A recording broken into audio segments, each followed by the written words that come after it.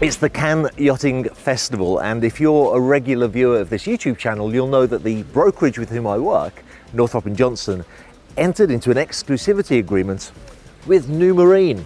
Um, as a matter of fact, the uh, show has started really well. We've uh, had uh, a broker at all times on the Numarine yachts. We've had some support staff here as well with the shipyard, working closely with them. And on the first day of the show, we actually sold one of these. I mean, to be fair, the negotiation had already started before the show, but the deal was closed on the first day. Everybody was very happy. We'll be back at the shipyard in the coming months to show how one of these is built and also to film a finished one. But today in the boat show, I wanted to show you the other model, which is over there, which is the 26 XP. Now this has a steel hull. The 26 has a composite hull. It's a much smaller yacht, but it's a big 26. As you know, this is not my normal style of video. Usually we'd go out to sea, we have a, a professional crew doing all the videography and the editing. Um, so what I thought what I'd do is take some advice from some people I had dinner with last night, some very famous YouTubers. I'm going to start by taking a leaf out of the book of Nauti Style.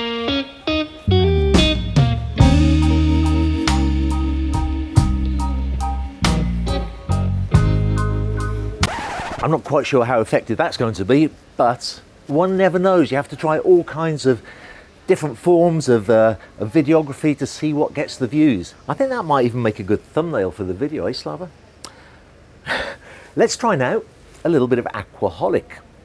And to do that, you do have to press the record button.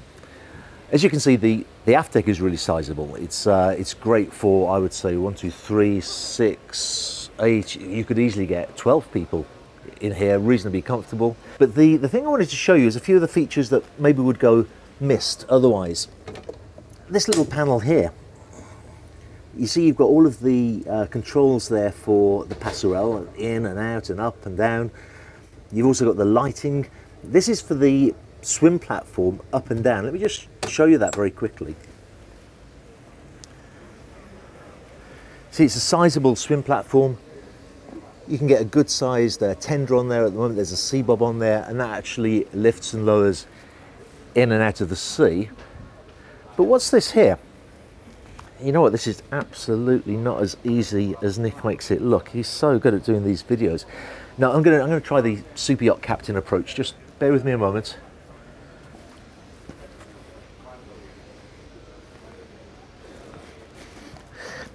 Here we have the controls for the mooring. And it's so important when you are mooring to be aware of the direction of the wind. Even when sometimes it looks like there isn't much wind, it always does affect the yacht.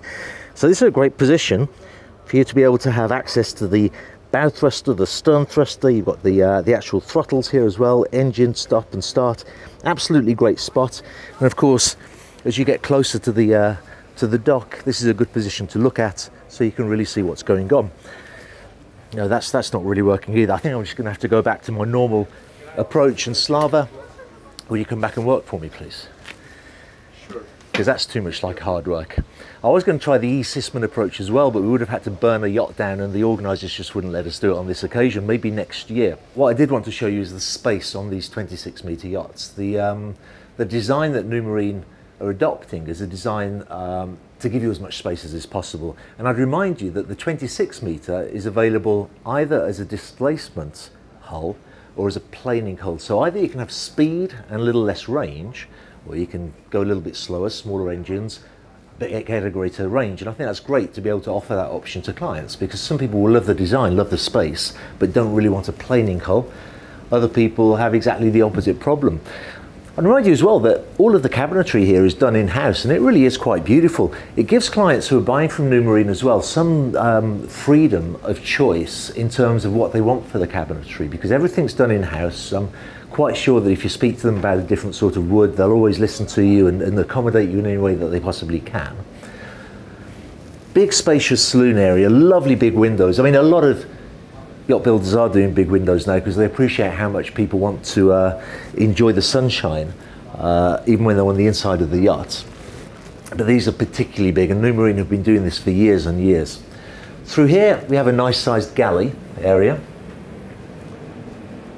Again, plenty of light for the chef, huge fridge and freezers, and plenty of work surface as well. Um, I think when you accept a different design rather than the sleek production yacht design of most planing hulls, um, once you've got over that apparent need to always have something very low profile and you find a design that's very appealing visually that gives you a lot of volume, the benefits are actually huge in terms of interior volume. You can get so much more in the yacht and this head height, lots of width. Um, actually, I was walking down the side deck earlier as well, and the side deck is extremely wide. It's not one of these that you have to sort of go sideways to, uh, to get along. Moving forward, we have a day head just here. And I have to say, it's a beautifully appointed little day head. They use really nice fixtures and fittings, um, the kind of stuff that many sort of very wealthy people would have in their homes. So this is a home from home. And the bridge too. Um, again, for a 26 metre yacht, this is quite surprising how much interior volume there is. But then when you get here, you understand how they did it. Because we're right up to the bow here. All of this is interior volume. You have these forward raked windshields, still space at the bow for a little seating area, more than a seating area actually, quite a good sunbathing area.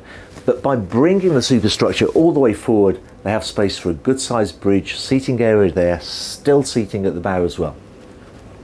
Let's take a look below deck.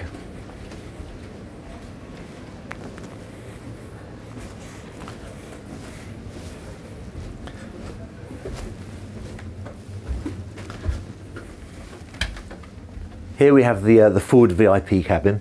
This is quite unusual. They've used the form of the hull because they obviously we're coming to the point of the bow here, and they've used that form to put the bed at an angle uh, that corresponds with the angle of the bow. And it actually looks very effective. It's got plenty of space to walk around. You've still got a seating area there. Um, good wardrobe space as well. Particularly here, those are drawers um, that you'd use for other kinds of storage. But I mean, that really is ample for most people. Ample space, extra space here as well. And let's take a look at the, the bathroom that goes with this particular cabin. Good sized bathroom. Again, if you're a regular viewer of the channel, you know I always take a look at the showers, and that's a good sized shower. You can easily stand up in there it's absolutely fine. Moving further aft, we have through here another guest stateroom. Beautifully appointed.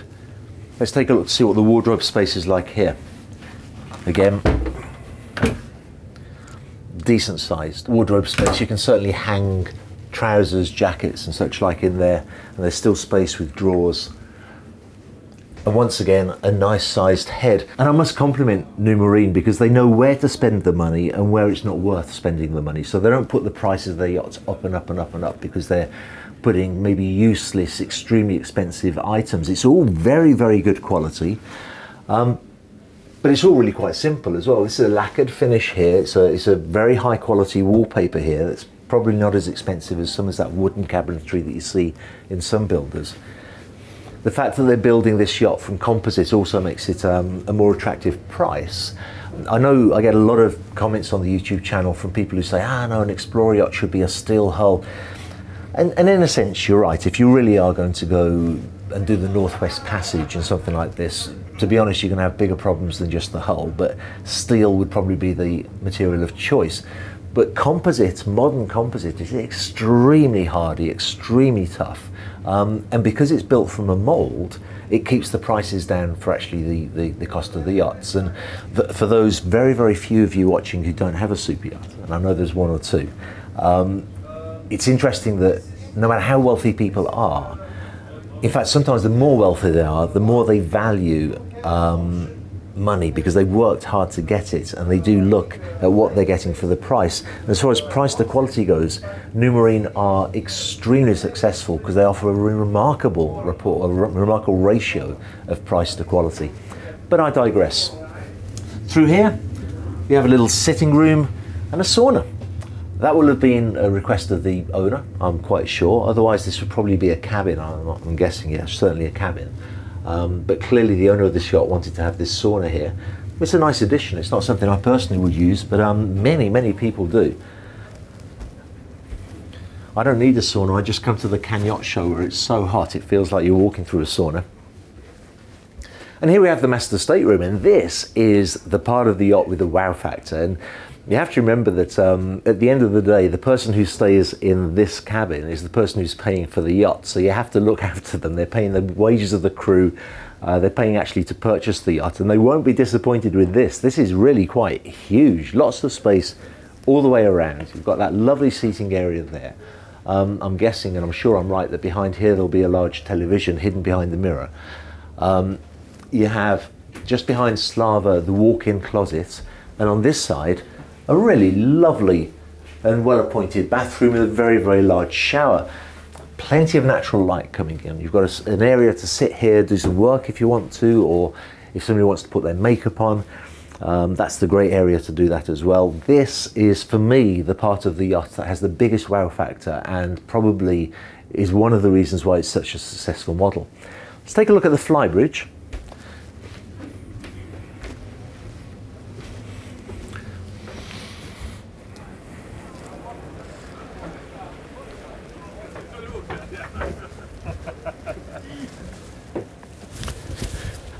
And again, here it's all about space. It's what Numarine is so good at. This is a huge flybridge for a 26 meter yacht. It really is. It's beamy, it's spacious. You've got plenty of space here for barbecue areas, for fridges, freezers, ice makers, everything you could possibly want. A huge table here, um, which people I'm guessing would use usually this uh, this table for for dining on board because you benefit from the hard top and the shade that it gives you. You also have uh, helm station up here which you know I'm sitting down but I think mostly uh, most captains would be standing up so they get better visibility but even sitting down you can see where you're going. It's a, it's a lovely spot. And they've tucked it really neatly away so it's out of the way of the diners um, and at the same time made it quite an attractive design so it's not an eyesore. Back here we have all of this sunbathing area too. I noticed actually while we were waiting to film up here that one of the Numarine uh, people was showing some clients around and they pointed out that these this freestanding uh, furniture here is actually anchored down. You can move it if you need to because you can lift this up. But as you can see down there, there's a, a little um, a little socket that it fits into so that when you're underway it's not going to slide around all over the all over the rather beautiful deck. Behind here, tucked away, there's a crane and a jet ski. So this is a yacht that you can have the tender on the swim platform and a jet ski up here as well. It's just a great solution for somebody who doesn't want to go much bigger than 26 meters but does want a lot of space. And a conversation that's come up quite a lot um, during this show is the fact that many yacht owners could easily afford something that's 50, 60, 70 meters, but the way they use their yacht, they have their favorite spots particularly in Greece and Turkey and Croatia, some people have their favourite little bay that they can just get into, tie the yacht to a rock, and that is their happy place. So they would never buy a yacht that's too big to fit into that happy little bay for them. And this is a great solution for that kind of a yacht owner. Now, I make no apologies for the fact that on this tour we won't be showing you the engine room or the crew quarters because boat shows are such a busy time for crew. They're having to keep the yacht clean the whole time. They sleep in their cabins at night. I don't feel it's appropriate on this occasion to disturb them because they, they do have so much work to be doing. But what I do want to do is particularly thank Tristan, Nick, Aquaholic, Victoria, and Rico for letting me take the mickey a little bit at the beginning. I haven't actually asked them, so I hope they're going to be fine with it, but they're great people. Victoria and Rico and myself are fast becoming uh, good friends. Uh, I've got to tell you, if you do watch Naughty, if you don't watch Nauti Styles, you should. If you do, what you see on YouTube is actually the way that she is. She's like a, a little ray of sunshine going around the uh, the boat show, and it's absolutely fantastic. Tristan as well, Nick, they're, they're good friends, good people. We have a really nice community. We had a great dinner last night. Um, so that's where, how I wanted to end the video. Apart from saying, of course, that you subscribe to them and don't subscribe to me, then subscribe to me as well and click on the bell icon to get notifications of new videos.